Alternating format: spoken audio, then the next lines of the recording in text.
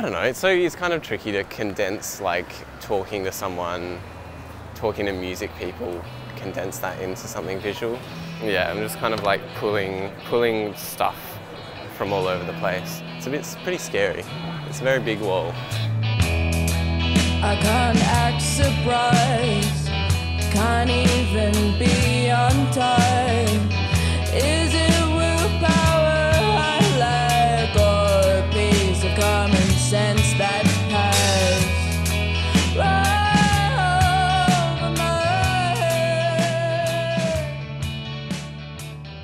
The yeah, the brief in the first kind of meeting was just something that something to represent Adelaide music. How do you actually do that? Like how do you represent music in a visual way, like in a painting? I took the research and kind of looked at the I guess the intersection of art and music and like previous visual representations of things surrounding it. So like posters and flyers and album artworks and band merch and all that sort of stuff.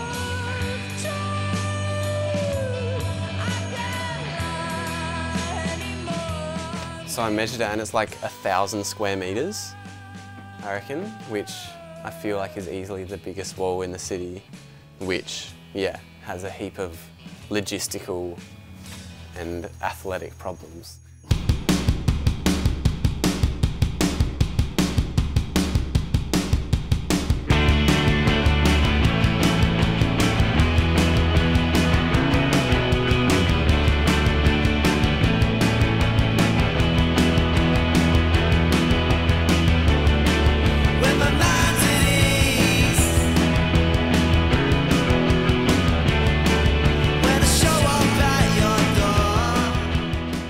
Think my first impression was the standards of music were really high here. Adelaide is a very, very big on music and there's a lot of talent here. We've had several sort of generations of musicians come out of Adelaide and make a big impact around the world. And I think that's a testament to how deeply ingrained music education is in the city. Adelaide being a UNESCO City of Music was a really good indication where we sit in the world and having seen the impact of that on the city was great.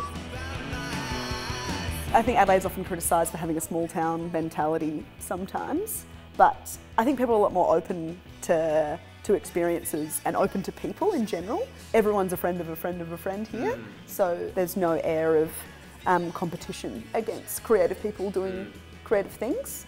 Um, yeah, I just think you look at anything that's homegrown in the state and everyone's kind of involved or helping out or is just stoked on another person doing a cool thing. I think that's one of my favourite things about living here.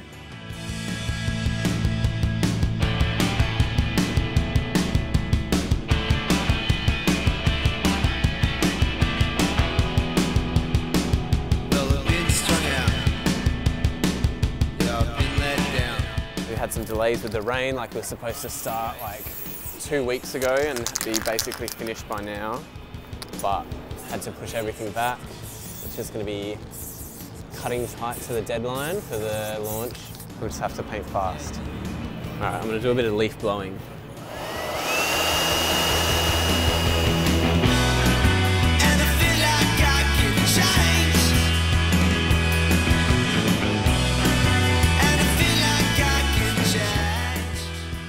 There is something unique about Adelaide. I'm sure every city in Australia, probably every musical city in the world would say that.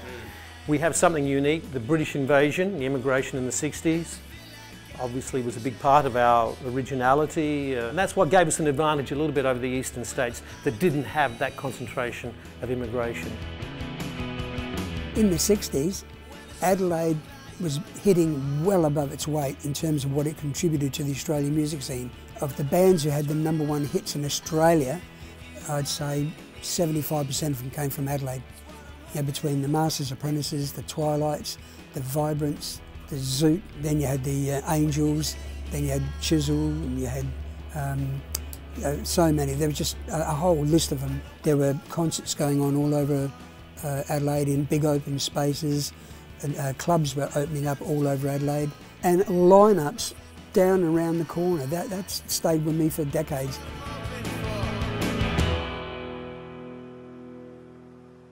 I had like three three big days doing all the high bits of the wall over the top of the building there. Um, and then we were supposed to have scissor lift arriving today. Turned up here at 6:30 and no scissor lift, so we're currently hanging around waiting for that to arrive. And the plan is to get it all finished off over the next seven days. It's all it's happening. It's all happening.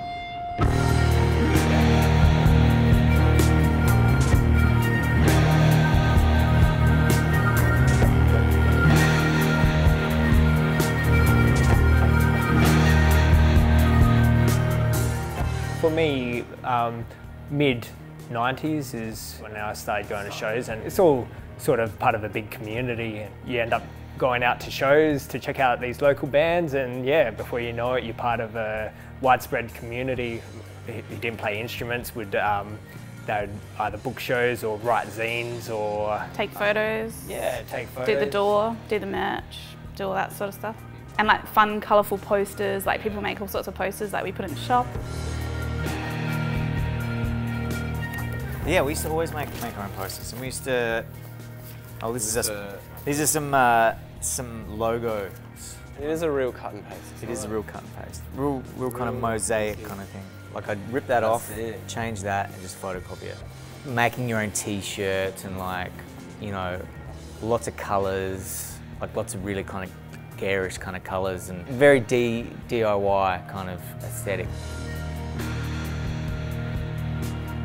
Adelaide seems to be taken a little bit more seriously than what it used to, you know. And that's not to say we didn't have the same level of talent. If I was to kind of describe the sound or describe the way in which we do stuff, I think you've got to be better because, you know, So you like you're going to be so disregarded, Yeah. you know, most of the time. So you've got to, you've got to be good, you know. Like a lot of people are saying that Adelaide seems to be like punching above its weight or like having a higher like proportion of people coming out of such a small place. And Like, it just goes. Do you know what? It just goes back to that that concept of the industry. You know, Melbourne and Sydney. Yeah. That's where the industry is, but it's not as clear cut as it once was. You can't judge the success of a of a city based on the people that do or do not go to venues. You know, it's about what's there to go go and mm. see. You know, and we've got. We've always had stuff to see. We've always had local government that are really supportive. When you talk of like a sound, it's not that everyone sounds the same. I think that's like a bit of that's a bit misleading because I don't think many bands in Adelaide sound the same as one another. Um, I think it's more an approach. Like what you're saying is like it's not defined. It's just authenticity. Like people just do what they want to do because they want to do it, and I think that's you know that's like honesty in what you're creating. I'm playing because I want to play.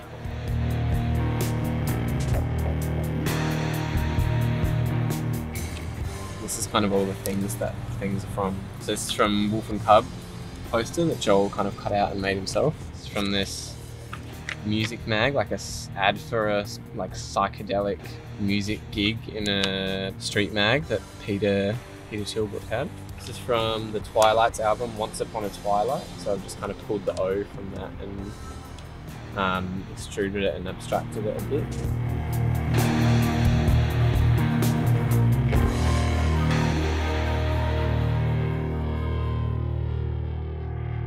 A few people have mentioned that Adelaide used to be a real techno capital. When when did that happen and how did that happen? So it was the techno capital of Australia, definitely, without a doubt. Oh, maybe early 90s to late 90s. But really it was Dirty House Records and Juice, those two labels. Yeah, the artwork was all original works and labels were interesting. What do you reckon I should put on the wall? What do you think represents Adelaide music to you? Mm, that's hard. Because it's so broad and diverse. I mean, whether it's here or at Rocket Bar or Fat Controller or wherever. I don't know, I think you've got to definitely put a record in there somewhere.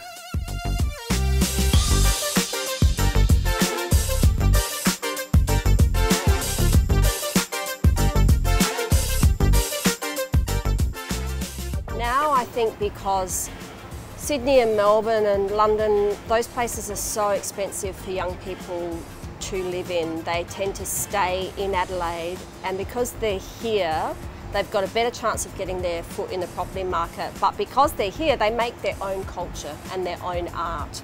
I'm proud of the environment that allows music to be played live. There just seems to be, since the designation of Adelaide in 2015 as a UNESCO City of Music, there just seems to be a lot more industry and government and private sector collaborations. It's also given people a bit of a kick to actually start thinking, well now that we've got that, what does that actually mean in terms of action? What can we do?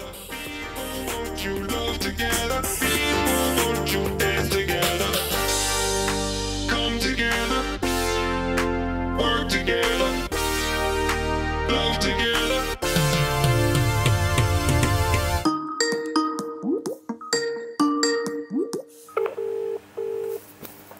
I'm going to be painting a mural in Adelaide and we're kind of filming the process for that. representative of Adelaide music scene kind of throughout, like across across genres and styles and times. So yeah, kind of like chatting to different people and getting different perspectives. I'm really proud of the musicians from Adelaide uh, because I, I see them everywhere when I travel around the world. But Adelaide is uh, sort of like young and free. Like it would always be the cute little small town of Australia. In Adelaide, we were noticing uh, various suburbs had their own rock and roll bands. And yeah, I was uh, ready made, man. I was a child of rock and roll, as they say. We danced to that music. It was it was dance music. I'd say because of its like it's isolated in a way from like the rest of the industry. People probably take more risks and experiment a little bit more with like finding their voice as like an artist. all the people that got me into music, all the people that were around me, all the people that we came up with, they were all graff writers. It was a graff scene with music on the periphery. the Cabaret Festival and WOMAD, the, the list goes on. There's, there's, a, there's a Mm. great culture of, of wonderful events here in, in South Australia. Therefore, there is a culture of, of people the club culture here at that time was just sort of taking off, and people listening to this amazingly loud, vibrant music. You really had to go out and hunt for it. You had to go to a club that was, or discover a club by accident that was playing that. Um, it was like Alice in Wonderland, kind of opening the door and pulling down the hole. So for me, it'd be like Traffic, Proscenium, Drive, Tivoli. I guess there's something about like the inside of the Grace Emily Hotel. Like the Toucan, you have the rocks, Limbo. Being from Adelaide, I, I grew up always going to Thebarton Theatre to see any touring band that would come to town. So I looked at Thebby as like rock and roll mecca. In Adelaide, it's like you walk across the street kind of mm. thing, and you and so you could kind of just like jump between and see like all of your friends' bands like on the same night. All right, thanks Emily. I'll see you when you're back. No worries. Good luck with the mural. Cheers. Bye.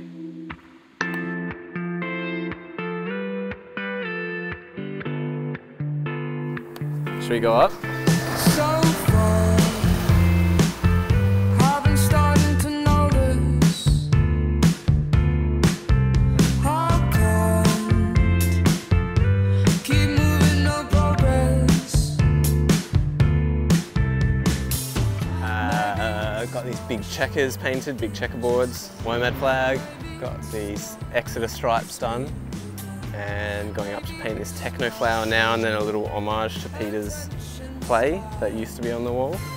I'm in the habit of chasing butterflies, high on the static of giving into desires. In the tragic, chasing butterflies, lost all the magic since you left me.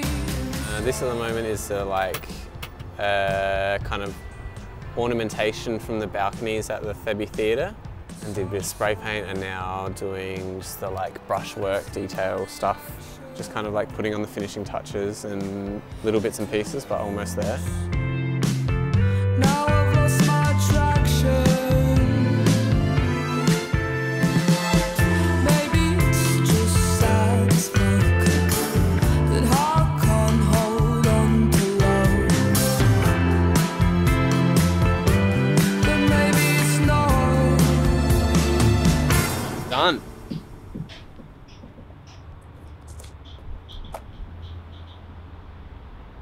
Finished.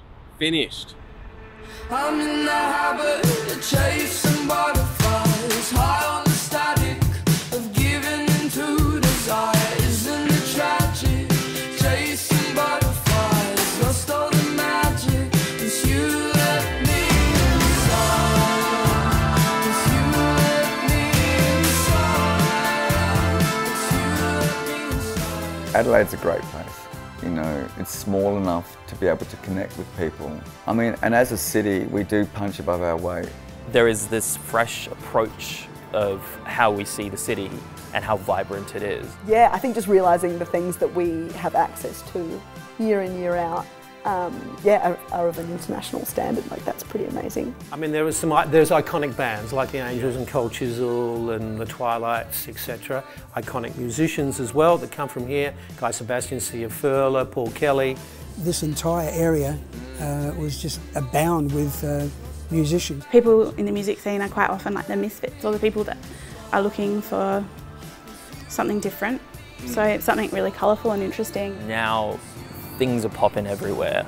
It feels there's a sense of uh, celebration and enjoyment of the city and pride in what we offer.